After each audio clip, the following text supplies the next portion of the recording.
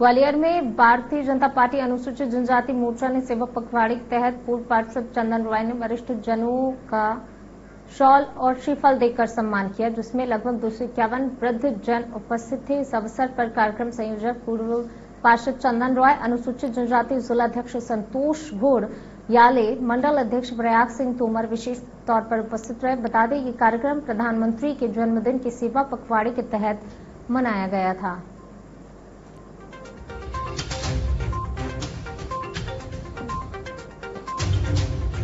Bharatiya Janata party अनुसूचित जाति मोर्चा, कोटेश्वर मंडल द्वारा यह वृद्धजनों का सम्मान का कार्यक्रम आयोजित किया गया है। क्योंकि मध्य प्रदेश के यशस्वी मुख्यमंत्री सदैव ही बुज़ुर्गों का सम्मान करते हैं, उसी के निमित्त आज यह कार्यक्रम, आज विश्व वृद्धजन दिवस के अवसर पर किया गया है। इसमें हमारे पार्षद श्री चंदन राय जी द्वारा दो सौ इक्यावन हमारे वृद्धजनों का के लिए सम्मान कराया है।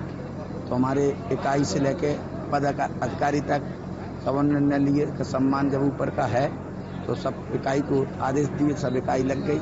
तो आज बुज़ुर्गों का सम्मान दिवस था। उस दिवस पे सब लोगों का सम्मान सब लोगों ने मिलकर